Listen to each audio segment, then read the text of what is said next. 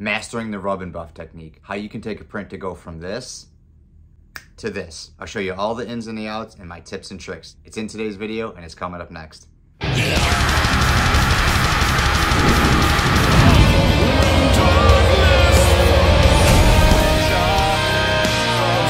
All right, what's up everyone? Back at it again. It is DW Darkwing Dad and today I'm gonna be giving you a little bit different of a spin on a very popular finishing method known as rub and buff. Now you may know what rub and buff is or some of you may have never used it at all and basically it is a metallic wax that you can apply to your 3D print. A lot of times it gives it an aged antique look Really cool effect, something that doesn't take a lot of time, but there are a lot of tips and tricks I'm gonna show you here in this tutorial that can actually help take your rub and buff game to the next level. Even though this is a rub and buff tutorial, we're not even gonna be using rub and buff, and I'll explain to you why. What's cool is the product we're using today is just like rub and buff. It's a metallic wax, but it has a variety of different colors. So you're not handcuffed to just using copper, bronzes, golds, and silvers. You can add different colors like reds and blues and things like that, but I'll talk more about that as we move along in the video.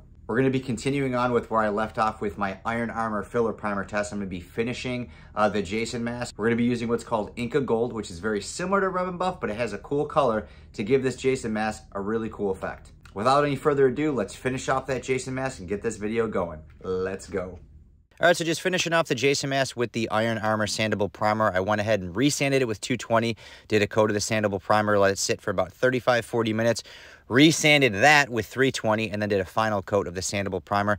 Let that sit for about an hour and then I added a satin base. Rub and Buff does need a black base. I chose satin because it has a lower shrink rate. It's not going to give us as much orange peel. It's going to give us a better finish. It's going to look a lot better with the Rub and Buff. Let that sit for 24 hours. Now let's inspect the Jason mask and add some color. All right, so now that we have the Jason mask completed, we have the base coat, we are ready to do our rub and buff. Overall, the mask did come out pretty good. However, um, you know, I've never been a fan of just finishing a 3D print with just using filler primer.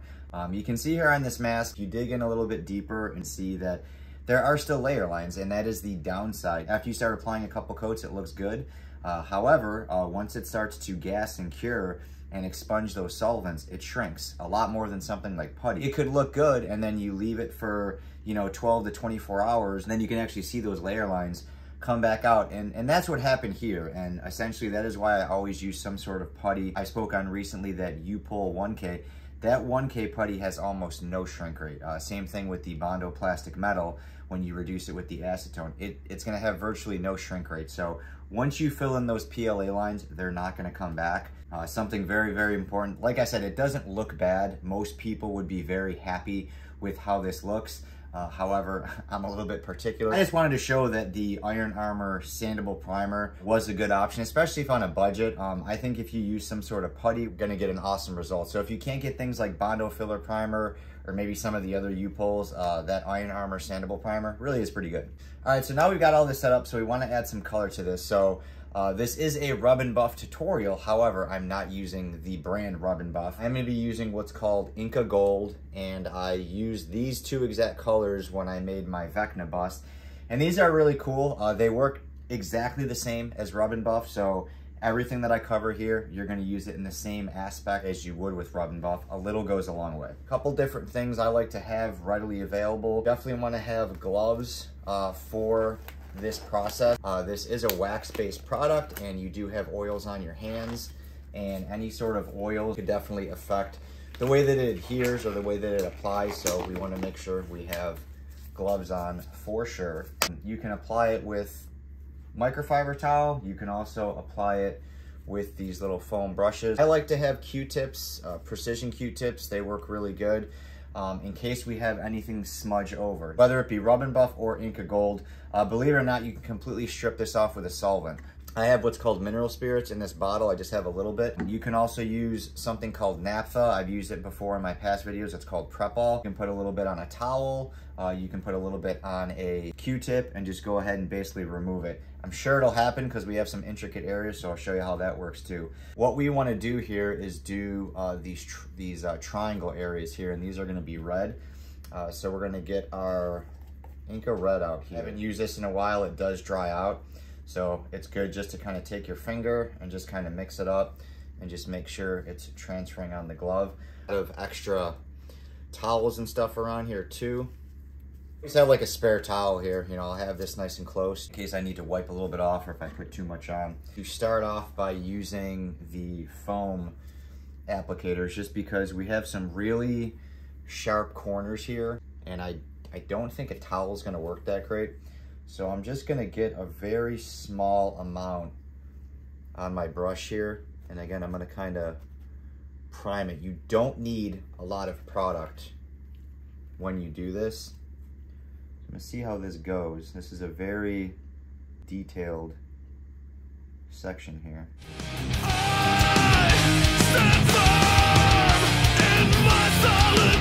But a little goes a long way. You don't need to cake this stuff on. And you're not really going for like a solid color. That's not the purpose of Rub and Buff. It's literally just to almost make it look um, kind of vintage in a sense. You don't want to put a lot of pressure because especially on a mask like this where we're trying to highlight the cracks, we want that black to bleed through. And if you put this on too heavy and apply too much pressure, it'll actually start like stripping it off. It's not like paint where it needs to be thick and heavy. So that looks pretty good. So now what I'm gonna do is just take a dab of the mineral spirits and you can see here how there's excess around here. You just go like this and it will basically strip that off and clean up the line. And it won't affect your underlying paint. Mineral spirits really only affect things that are oil-based. So if you're using a lacquer or an acrylic enamel paint, it's not gonna affect it at all.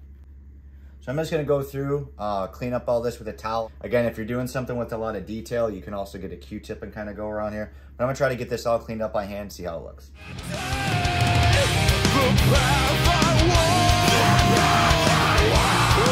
When you're doing this, you will notice that it is smeared around. So you are gonna have to rotate your towel both inside and out because uh, what'll happen is it'll kind of like spread it around which we want to remove it. We don't want to spread it out. This tip there, use both sides of your towel.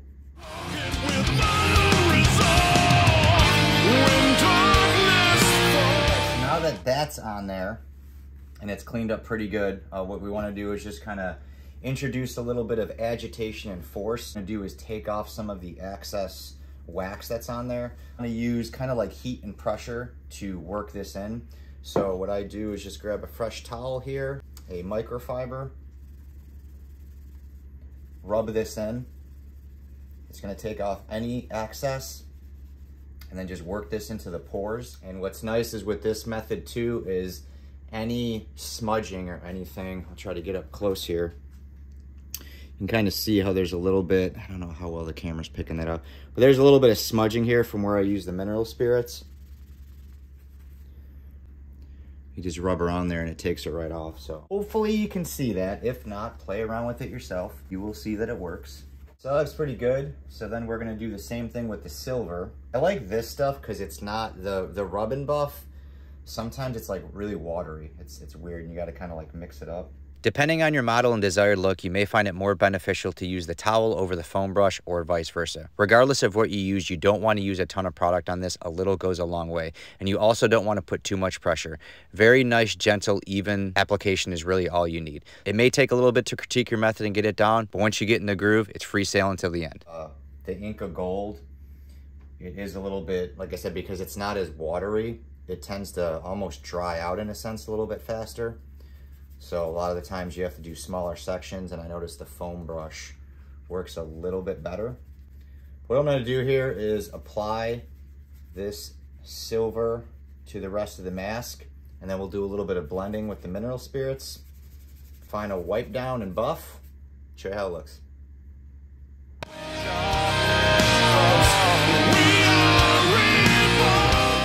Rub and buff. And it looks pretty cool, and you know, you may be happy with the way this looks. Uh, I'm gonna try to blend it in a little bit just to give it a little bit more uniformity.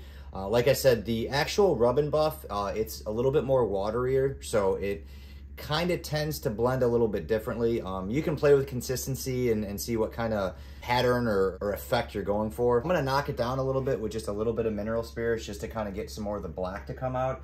Uh, so what we wanna do is we wanna get a fresh piece of towel. We don't wanna use one of the other towels that we used and you don't need a lot. Just basically a a dab of it. And what I actually do is kind of like rub it on the towel so it's spread across. You don't really want to spend a lot of time in one area. You're just kind of, I guess, massaging it over the surface just to kind of knock some of it down. So I'm just looking on here where maybe it's put on a little bit thicker. And I'm just gonna wipe it. It'll start to bring that black more to the surface. So what you do is you have to take some off and then blend it back in. But like I said, you're not damaging the underlying paint, so you don't have to worry about, you know, it eating through it. This isn't like acetone. It's not a super, super heavy solvent. This just breaks down oil-based materials. I've done this blending technique on a lot of helmets, and it's really cool because when you actually introduce the mineral spirits, it almost, in a sense, um, I don't want to say etches it on the surface, but I feel like it just it works it in more and it takes away some of the unnecessary additives and just leaves the raw material behind. Um, I actually did this method on my Star-Lord blasters and I've carried those around at a couple con events and none of this stuff rubs off on my hands or anything. So the, uh, the mineral spirits really help. Does just give a really cool effect.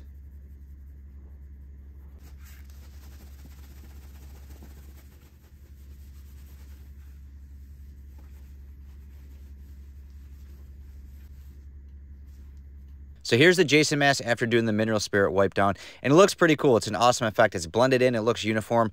However, it is a little bit too dark. I really want the, the dark and the black and the cracks and the crevices to stand out more. So what I did is I put a little bit more Viva Inka Gold on my brush and just kind of highlighted the higher areas on the mask to stand out a little bit more and look a little bit more silver. Then I took Mineral Spirits on a fresh towel and I did a blotting motion. I didn't do a wiping motion like I did before. This is a similar technique that I did on my original Jason mask. So as opposed to wiping and stripping it off, we're just doing a light dabbing motion with the mineral spirit and then taking a fresh towel and dabbing it over. And it's making a more uniform pattern. It gives a really cool effect. It's awesome to do on a painted mask, you can see here, but it turned out really well on the rub and buff mask as well. So after I went through and did my little dab on that and touched everything up, gave it a final buff down and here it looks. So you can tell it looks just a little bit lighter. It's not as dark. It's not as deep. Uh, there's more of a sequential pattern to it. And you can see how those cracks and those black marks and those nooks and those crannies just stand out a lot more. I think it gives the mask a lot more character, a lot more contrast, and overall a pretty wild look. This blending method can take some practice and time to get used to, but once you've mastered it, it'll leave you with a finished look like no other. So now that we've done some blending and critiquing with the rub and buff technique, let me give you my final thoughts and wrap this video up. All right, guys, well, there you have it. There is a different spin, a different look at a way that you can apply rub and buff. I kind of stumbled across this method way back when I was doing my MetroCop helmets. I wanted a way that I could easily kind of shade and weather it without having to do all kinds of washes and, and constant cleanup. Know, knowing that mineral spirits break down oil-based stuff, it worked out really well. A real cool option that you can do there. And like I said, this works with all of the Viva Inka Golds and the traditional rub and buff. I know the rub and buffs are a lot easier to get. You can get those at Hobby Lobby and Michael's and all kinds of craft stores, but you're really limited. All they have is gold and silver and copper and bronze. So uh, the Viva Inka Golds are really cool. And they have a wide variety of colors. They have all kinds of blues, greens, everything. So if you're looking to do a different approach uh, with a rub and buff style, the Viva Inka Golds are definitely an awesome thing to look into using those mineral spirits, it really kind of works the product into the pores, makes it a little bit more durable. It really gives an awesome effect and it'll definitely make your 3D print stand out from the rest. I want to thank you guys for watching the video. If you did enjoy the video, go ahead and give me a thumbs up. If you have questions on anything covered in the video, go ahead and drop me a comment. You know, I'll hit you back. If you are subscribed, thank you so much. If you're not subscribed and you enjoy all things 3D printing, cosplay, Marvel, DIY, Funko Pops, all the stuff we're doing on the channel, go ahead and click the subscribe button. I'll be sure to leave links in the description with all the products I use. That way, if you're wanting to try this method yourself, you can pick those products up. Let me know how you made out. You know, a really cool method uh, of kind of adding a different effect to your 3D print. A lot of different ways you can do it. Like I said, you can use the towel, you can use the foam brush. Uh, it really just depends on the look you're going for. Uh, I found the Jason mask with it being more smooth, it was a little bit easier to use the foam brush. Sometimes the towel method works, sometimes the foam brush works. You just gotta kind of play with it. The great thing about it is if you start off using the foam brush and it's not working, or vice versa with the towel, you can just take those mineral spirits, gently strip it off. It won't affect that paint. You can start over, find the method that works best for you, give your 3D print an awesome custom look. That's it for now, guys. I got to finish up this Jason mask. I am going to be doing a second part tutorial on this. It's basically how to make the T-harness. So if you do make a helmet like this or anything else, and you want to make the adjustable strap, I will have kind of a part two for this. Uh, it was a requested video, so I'm actually going to finish doing this video and start filming that and getting that strap on. Uh, so if you're a Jason fan, make sure to come back and check out that video. And of course, drop me a comment and a thumbs up. Another day, another video, guys. I got to get going. Make sure to give me a thumbs up, drop me a comment, and click that subscribe button. Until next time, DW out. Later.